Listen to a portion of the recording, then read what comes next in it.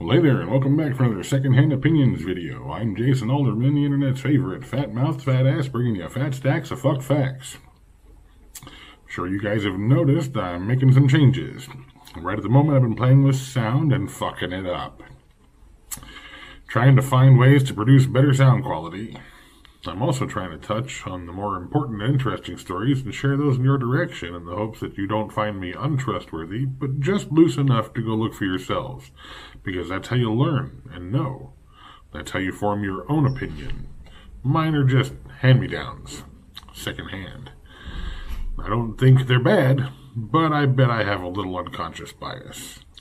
So here's what I want from you. If you have an idea on how to bring more to this for you, let me know. Drop me a line at grandpafatmouth at gmail.com and give me some constructive criticism. I know, I know. Sound has been absolutely shit recently. I'm hoping that's fixed with this video. Tell me my videos are too long or too short. Give me topics and stories. Tell me my lighting is shit, or whatever you think is going to help get you a show that's worth checking out. I mean, of course, we're doing it my way, guys, but you get to drive for a bit now and then. I'm in Eugene. Yeah, that Eugene. But if there's an event in Eugene or a story that you would like me to attend or check out or report on, let me know. And now, a little Patriot pep talk.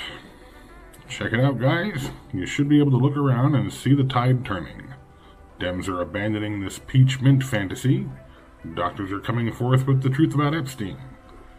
California in cinders and power stricken for millions, the people can no longer escape acknowledgement of the fact that democratic rule and democratic cities and states is absolutely tyrannical and neglectful of the voters.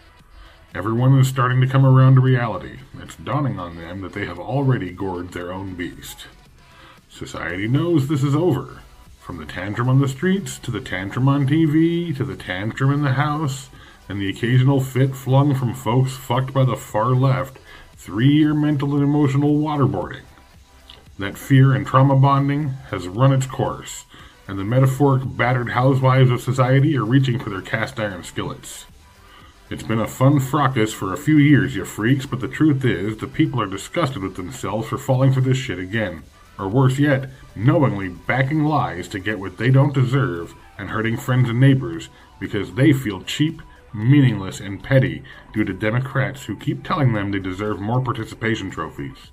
It's gotten so bad now they're envious of anyone just getting by and not going insane. Then they come calling on society with their hand out making demands. No, these folks are sick of being lied to for their agenda.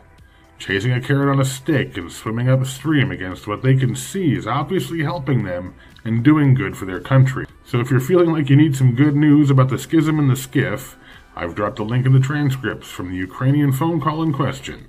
Read it for yourself, then you decide if there's any there there.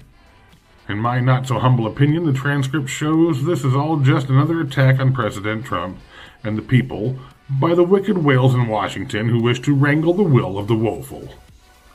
Witnesses are turning up their nose and their finger to this theater of the strange.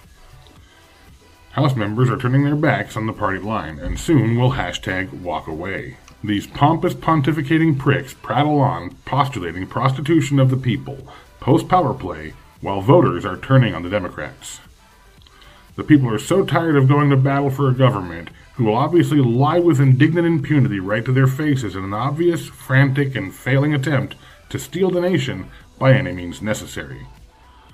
This narrative that demands that you believe their lies even while you watch them slide the knife in will and may have already cost Democrats the House. The people are growing tired of standing on their dicks because Democrats say it'll make it grow. Well, let's all keep pretending like our opinions matter and leave that shit in the comments below. And remember, this is YouTube, so do all the things.